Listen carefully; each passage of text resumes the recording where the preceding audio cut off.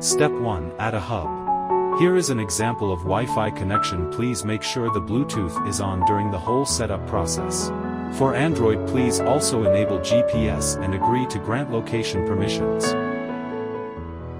Press and hold the setup button of the hub for 5 seconds until the hub indicator light turns blue.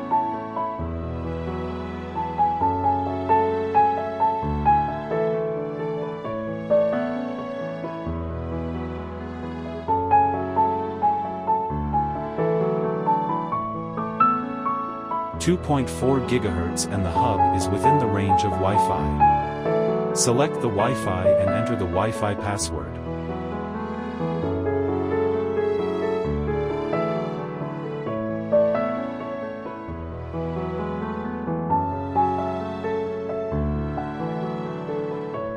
When Congrats Hub set up successfully appears on the page it means the hub is successfully added.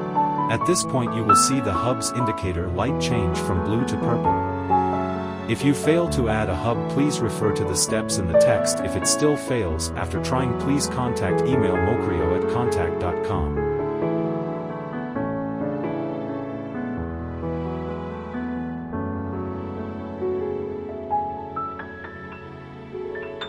To add a sensor, poke the sensor pinhole with a pin for 1 second and release.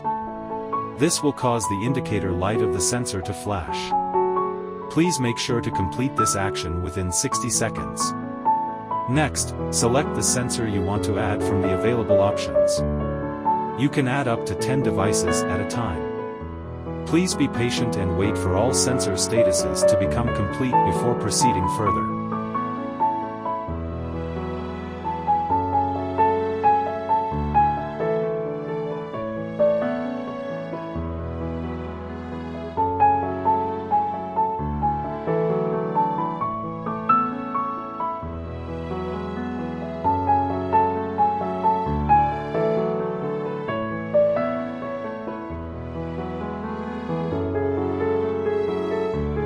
Tap sensor card then tap set button on the upper right alias name and save.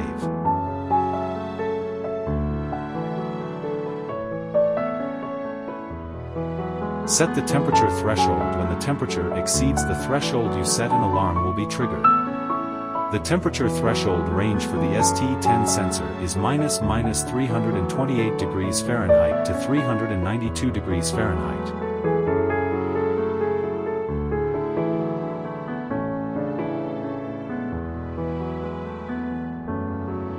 Turn on the hub beat when an alarm is triggered the hub will alert you with a loud beeping sound.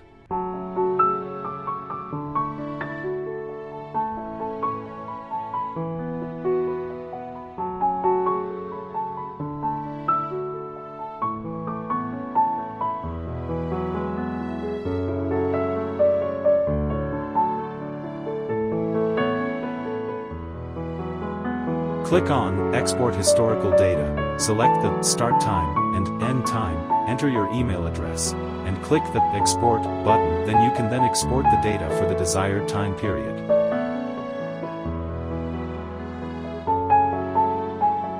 You can also set a fixed time for scheduled data export.